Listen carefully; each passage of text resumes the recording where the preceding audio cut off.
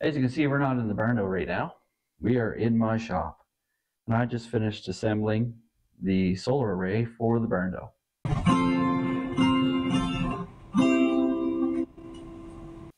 One of the things that comes up when people say solar power is that it's unaffordable, unattainable. And I've alluded to this already in some of the videos that I've done. The cost of me putting power into this building is extraordinarily expensive. So in this case, I went to your local online app. I ordered up all this stuff months ago, and it's been sitting here in my shop ever since. I went out and sourced at your this ready angle iron with pre-drilled holes in it. It's used in the installation. You can even see it up here in the ceiling if you're if you're keen uh, to install roll-up doors. I used it years ago uh, before. It's galvanized and it's very strong but you have to bolt it together. So I went through the tedious task of designing the frame for this. Uh, it's not as simple as it looks, even though it is actually very simple looking. I had to make sure that the lined up holes in the angle iron actually lined up with the solar panel or, uh, uh, holes in the array so that I'm not stuck using an extra set of brackets that I don't need. Because the brackets that actually come with this, although they're great and they're great specifications, they're meant to actually mount on top of a surface that's already uh, available and there's no issues with space. But it would have actually overcomplicated it because then I'd have four sets of holes to line up instead of two on each side of each each uh, unit. So this is actually more simple, even though there was more math and more figuring out. I have a Renology Rover 40 amp MPPT charge controller. If I can get it out here for you, I'll give you a quick peek. This unit looks well made, has a cooling center on the back, and very small, not very large at all. Easy to use, easy to access, easy to understand, well marked, and there's the controller board on the bottom.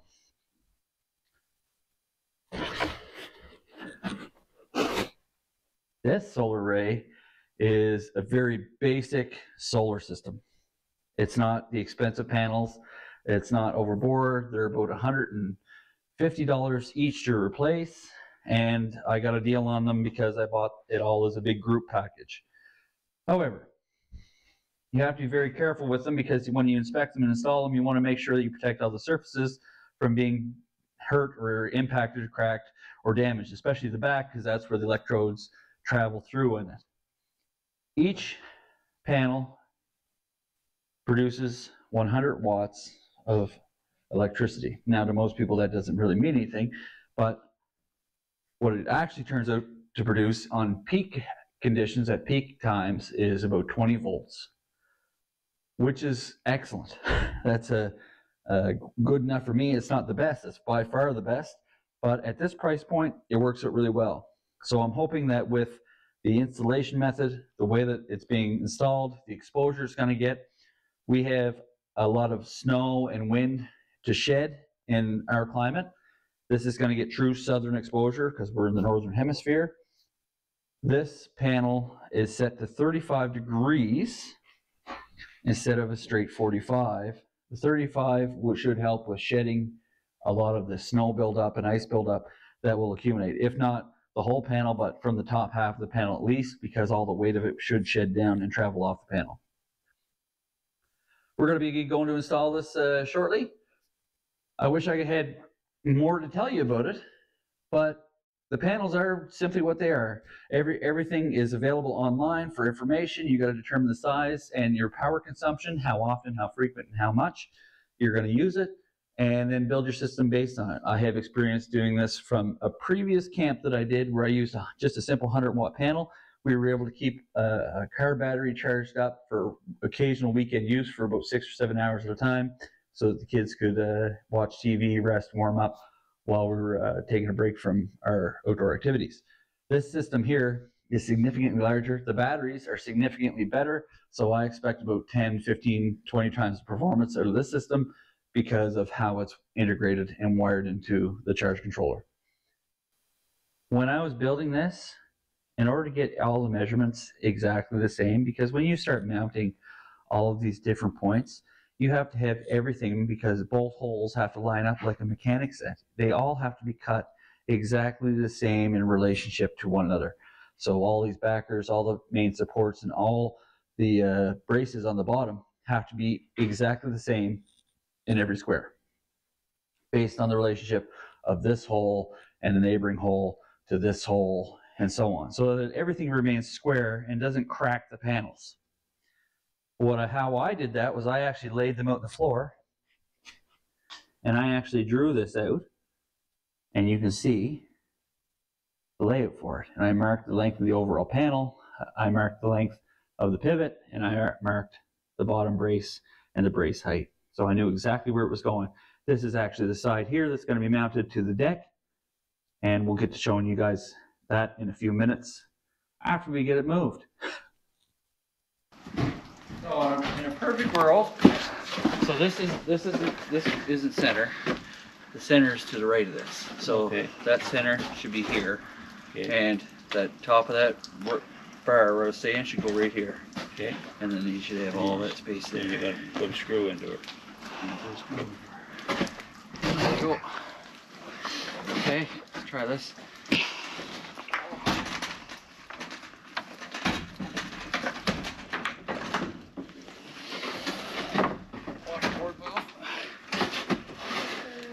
Lock her in. Hold on. It's almost. There.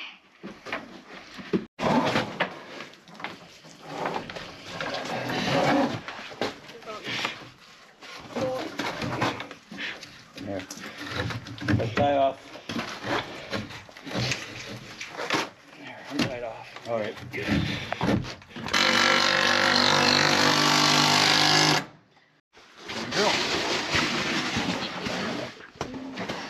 Perfect.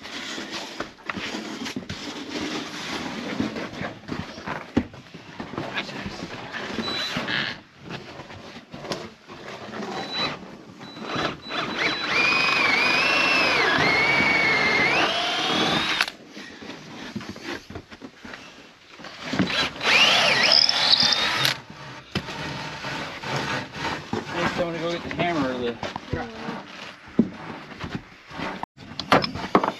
Yep, there goes. You know, screw would work there, like the light bulb work.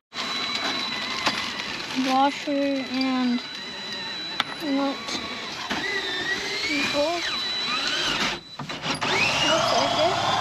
And that one gonna put in. Uh, what I'm gonna what I'm gonna do is that middle one. We're gonna drop that uh, leg bolt down to the bottom Yeah. because I need just need to. One bolt go through there. I got I got one. All right, well, I'll go down and get the ratchet. And then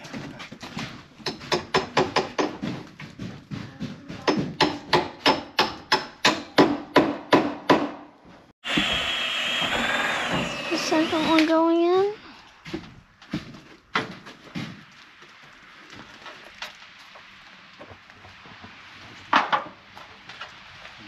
Push that button up one. Like that, see? And take it. How many people does it take to screw in a light bulb? Well, it takes at least four of us to put up a solar array. Hope you liked it. Thanks for watching, everybody. Like, subscribe, and follow. There's going to be a lot more about the solar system I'm putting in coming right up.